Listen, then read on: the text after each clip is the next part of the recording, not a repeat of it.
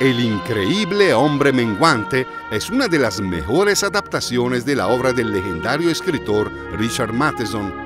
Es un clásico imperecedero de la edad de oro de la ciencia ficción.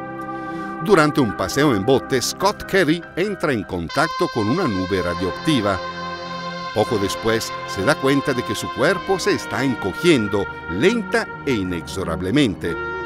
Su esposa se resigna ante la situación y por un tiempo Scott se muda a una casa de juguete. Sin embargo, todo a su alrededor se convierte en un peligro mortal. Hasta su propio gato intenta devorarlo. Las magníficas escenografías y los pulidos efectos especiales están al servicio de un relato inquietante, cargado de paranoia y angustia existencial.